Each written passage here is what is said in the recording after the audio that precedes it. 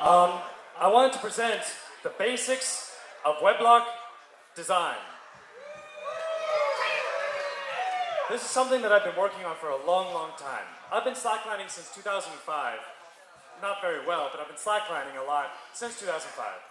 And since about 2010, I've been building my own slackline weblocks. And through the years of building these weblocks, I've come across a lot of information. I've had a lot of talks with uh, some of the best weblock makers in the world, you know, Land Cruising, and um, well, that's about it. Jerry, Jerry's here too. He's, he, I like his weblocks.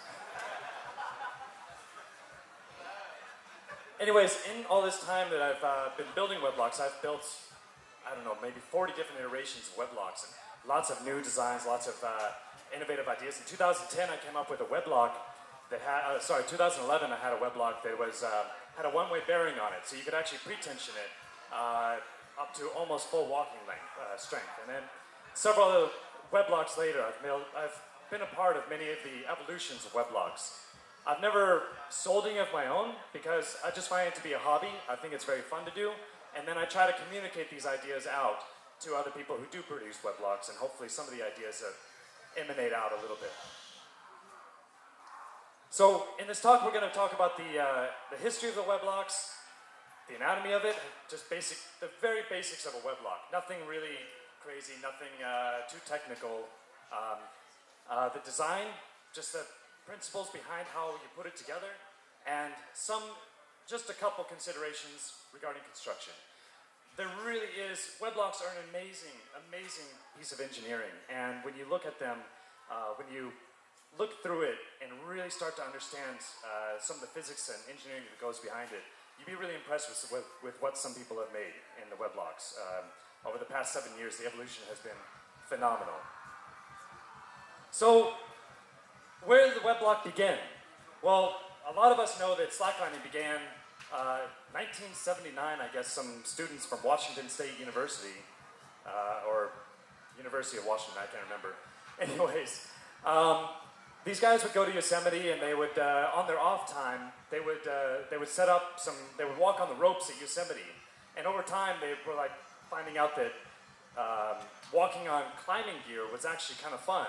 They found then walking on webbing was really fun. It was really something special about walking on webbing over a, a rope or a chain. And so as they discovered uh, slacklining, as they started developing it, I mean, it's just a no-name sport. I mean, there's five people doing it in the first five years, and maybe 10 people doing it in the first five years of slacklining. And it wasn't even really thought of as slacklining. I don't even, I, actually, does anybody know where that name came from? When that name was invented? Okay, 200 slackliners here, and nobody knows the history. Um, anyways, uh, so as slacklining developed, you know, they were using climbing gear and carabiners, and but it was really limited. Uh, slacklining was very limited by the technology that they had available until in 2004 when Scott Balcom, one of the slack daddies, you know, one of our forefathers of slacklining, he invented the slack dog. And that really brought around a revolution in slacklining because now suddenly 20 meters was, which was previously thought of as a very long slackline, now 30 meters and 40 meters was possible. Um, 2007, Mich Aschaber, uh, sorry if I'm saying that wrong, created the banana, and most of you know the look of the banana. It's a very classic design, and it's been copied 10,000 times by 10,000 people. Um, later, uh, Mich Kemeter, uh, he made a lighter weight version of that, and it came out to um, Stefan Junghaus from one of the co-founders of Land Cruising, and uh, Matthias Held came out with the Alu Dog, which is, of course, the slack dog, but in aluminum. That was in 2009. Uh, our own Jerry Miszewski, where is he? Somebody point at him? There he is. In 2010, Jerry came out with the Alpine Weblock. And with that, California really started, uh, and from my point of view, California really started exploding with slacklining. Partially thanks to Jerry, and partially thanks to all the people that were pushing it at that time. And so, from there, we really took off in the evolution of slacklining weblock. 2010 was, I think, the birth of the, the real modern era of slacklining. Um, So, what is a web lock? How does it look? This is just a, a model that I built on uh, SolidWorks. It's just a CAD model here. But um, I made this just to give an example of how a web lock, the general anatomy of a web lock. You have the rear attachment, sometimes called the rear pin or the uh, shackle attachment, or it depends on what kind of web lock you have, but rear attachment is pretty general and applies to most. Uh, you have the barrel. A lot of people call the barrel, uh, that's the uh, round center diverter there. They call it center diverter. I call it a barrel. Doesn't matter. Um, there's the pin lock, some kind, sometimes called the front pin. You have the side plates. You have the uh, load strand, the mainline webbing, and then you have the free strand, or also called the tail. So, the things you need to lock webbing uh, against itself, you, what you need to have to lock the webbing, regardless of whatever components are in a web lock, to lock the webbing itself, you need the barrel, the pin lock, and the rear attachment. You have to have those three components.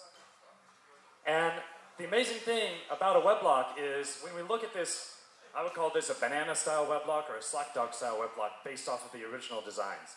So with these banana style web locks, you look at it and you take a, a close look at how the physics of it works, and you find, okay, we have the classic banana style, but then actually the line lock, you know, the ring with the carabiner, the ring and the shackle, or the chain link and the shackle, whatever the combination might be, that actually works on the same principle as the, as the classic web lock.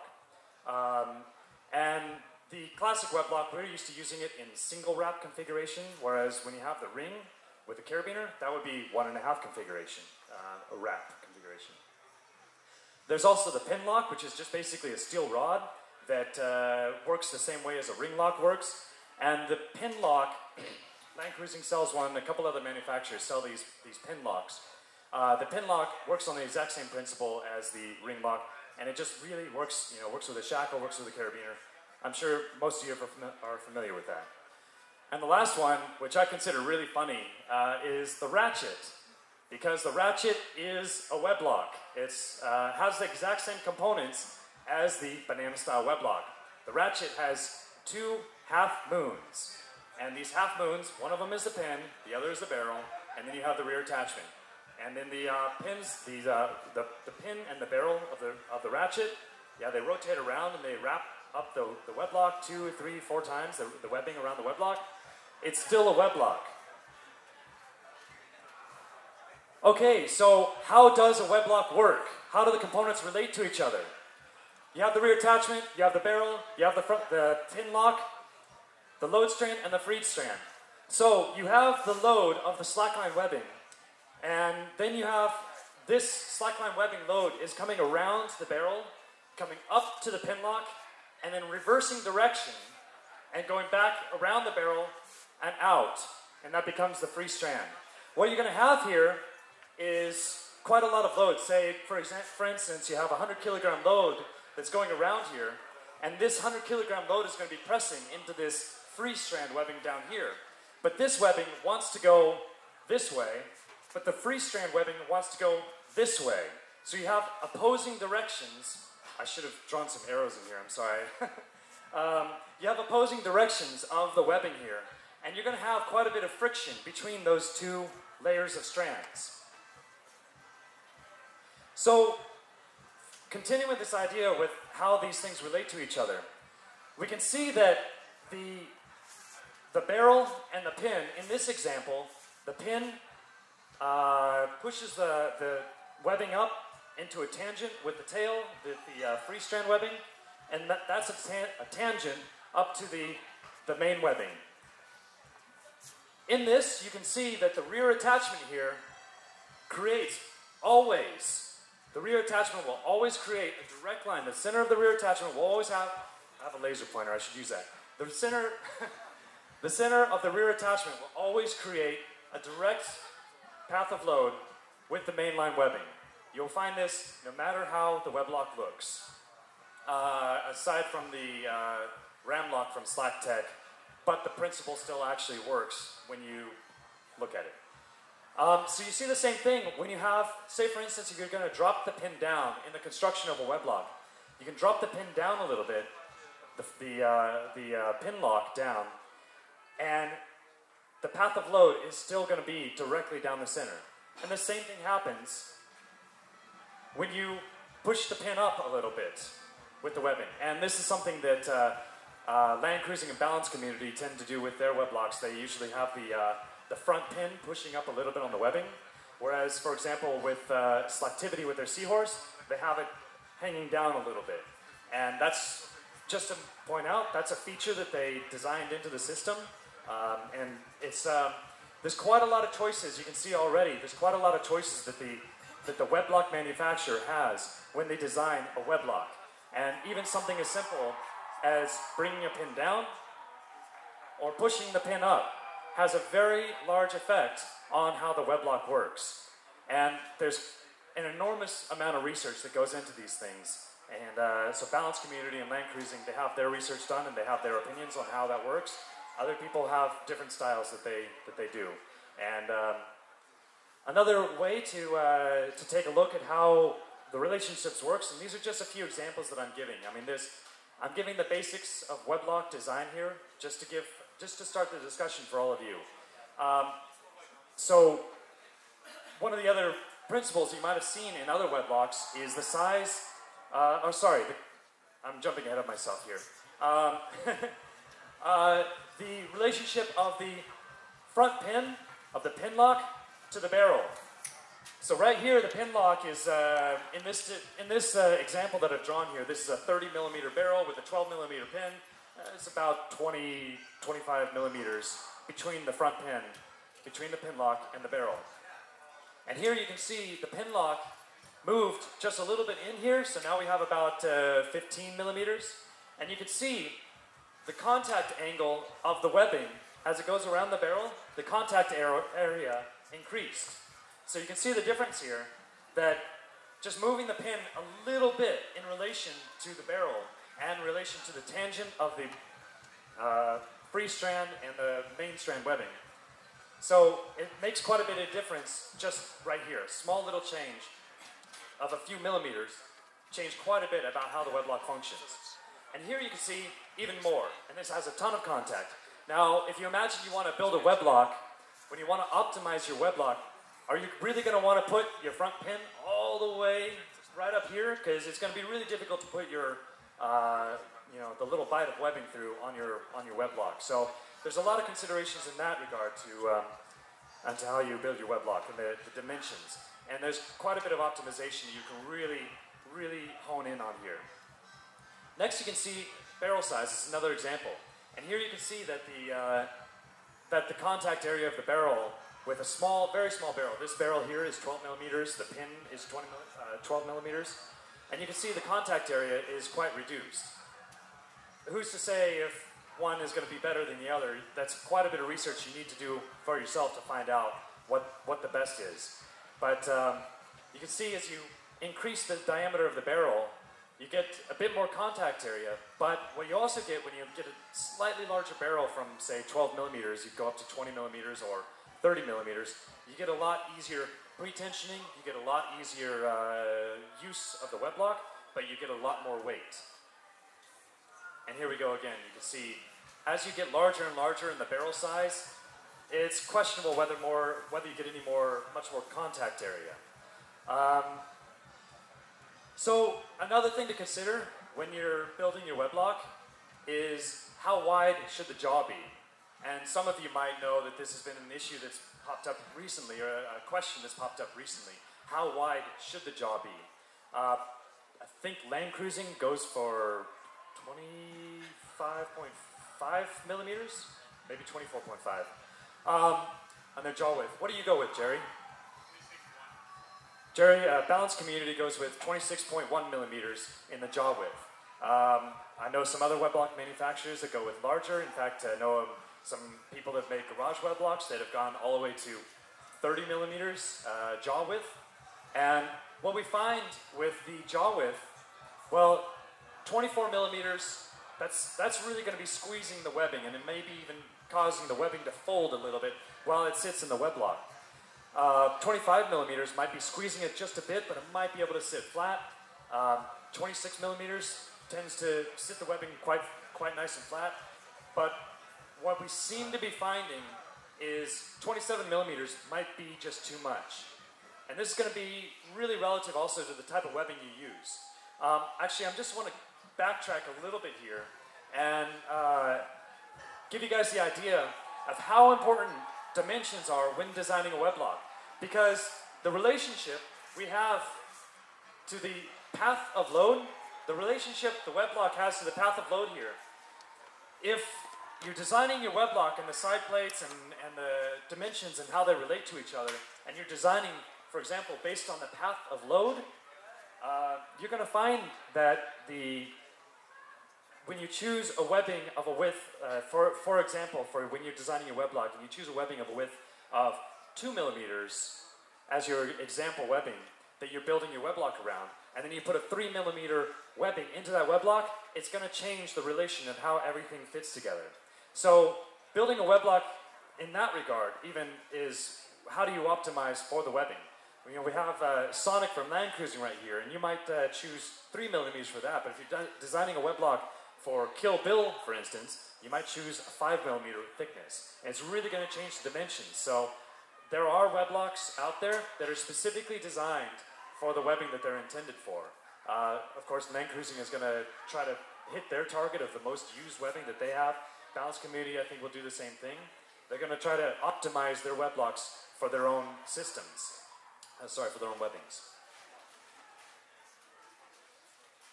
And another consideration when you're making your weblock is the height of the side plate. And this is something that seems to be an issue that pops up again and again. It's been something that's it's been an issue that's existed since I started making weblocks in 2010 that I've seen people come out with their own homemade weblocks and, and some manufacturers have come out with weblocks that the side plates have been quite uh, shallow, not very tall. And what happens with that is that the webbing, it, as, as we've come to find uh, more and more recently, um, webbing can, can start to hop out of the weblock. And I don't have a good example here uh, in reach, but uh, the tail of the webbing can start hopping out, and it hops to the side, and it hops up around and slides and gets pinched behind the barrel, and eventually the weblock is not even holding the webbing anymore. The webbing is, uh, is not doing that uh, opposing interaction anymore because the tail, the, the free strand, has come all the way out from behind the barrel. So a consideration when building a weblock is having the correct size side plates, uh, having the correct height on the side plates. Um, and, and that's really something that you have to, you really have to build, you know, a lot of weblocks. I think at some point we're going to find a, a, bit more of a um, stability in the uh, design of weblocks as they as they mature, as as more manufacturers are building them, and more information comes out, more discussions are made about weblocks. I think we're going to start to see some more agreement on something as mundane as the height of the side plate uh, relative to the mainline webbing. So, last thing to talk about here is the construction. So I just want to give a really quick example of materials when you uh, are going to build your, your weblock. And I, this is a huge can of worm because uh, there's some people that feel quite passionately about uh, aluminum or, you know, uh, they want to only have steel or, or only titanium. I'm going to limit this just to give a, a thought concept to you guys and, and show uh, just a little thing that comes into how, how to consider the materials you use for your weblock for example, the side plate, uh, for the pins, and whatnot.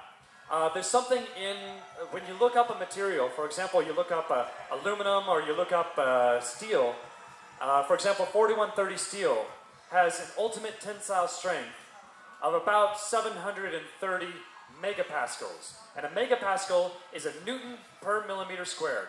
And that's just a way to measure what it's, that specific uh, metal will break, or material will break at at a um, uh, when it's pulled under tensile stress. So when it's just when it's just pulled apart. So a thought experiment here is just to take a, a theoretical material, and does anybody have a weblock handy? No. Okay. Yeah, I'm hoping to have one in my hands. Um, anyways, say for instance, uh, you choose a material of 500 megapascals, and then you want to take, you want to maybe calculate. This, by the way, this is just a calculation. It does. It's not at all a substitution for actual testing. If you make your web blocks, you must destroy a lot of your web blocks before you ever trust them. Anyways, when you have your side plates, uh, you take a cross section. Say, for example, where the uh, just got to go back. You take a cross section. Say right here, for example. Say this web block, the side plate is two millimeters wide, and we'll just say, for example, 25 millimeters uh, down along this way. You take that cross section, 2 times 25, that's 50 square millimeters of, um, of area on that cross section. Now, you can take those two numbers, the 500 megapascal uh, um, uh, ultimate tensile strength, and then you take the uh, side plate area, you plug those two together, so that would be 50 millimeters squared, 50 square millimeters, times 500 newtons per millimeter squared. That gives you, an, that gives you the minimum breaking strength, and please don't confuse that with an actual tested minimum breaking strength, but that gives you a minimum breaking strength of 25,000 newtons, which is 25 kilonewtons. You have two side plates, that makes 50 kilonewtons, just like that. Okay, that was just a thought experiment. It was just to get your brains working on how to look at the materials and, and if you want to make your own web block and you see some material that's, you know, 1800 megapascals and you're just like, you get big hearts in your eyes like, oh my god, I'm going to do that. This is going to be the strongest web block in the world. Go for it. But uh, everything you do, if you make your own web blocks, you must destroy them in a real scenario. Don't, uh, don't put on uh, some um, uh, mil-spec webbing and pull it until the mil-spec break and says, oh, this web block didn't break at 18 kilonewtons, so it's good for 25. I mean, that's happened. And testing is something that's going to happen more and more in the future. Um, just get into that idea. I'm going to put a pin in that idea for just a moment. Um, the next thing is when you manufacture your web block and say you want to use steel for your web block and your side plates, you want to cut the side plates out. Well, how are you going to come out? Cut them out. A lot of people are going to go to a machine shop. It's really easy. You go to a machine shop, you pay them five bucks, five euro, and they'll cut out this plate for you if you have a CAD drawing for them. You just say, hey, I want this. And then for $5, they, they, they make it for you. I've made web blocks since 2010 using machine shops where they laser cut it, they plasma cut it, they water jet cut it. But what happens when you cut this, this little plate out of a piece of metal? You're going to have really sharp edges. And what happens with the sharp edges it just cuts the webbing. And unfortunately, over the years, we've had several people um, who wanted to corner the market on really cheap web blocks. You guys all know web blocks are fucking expensive. Why are they expensive? When you manufacture a web block and you have to do something as simple as round out the edge of the, of the side plates, make it so it's not sharp, that right there took that $5 cut maybe into 15 $20. And so when you're going to make a web block, you must not allow sharp edges to be on the web block. And think about it this way. If you want to make a web block in your garage, that's great, go for it, and, and sand down the edges and, and break a bunch of them before you feel confident enough to use it.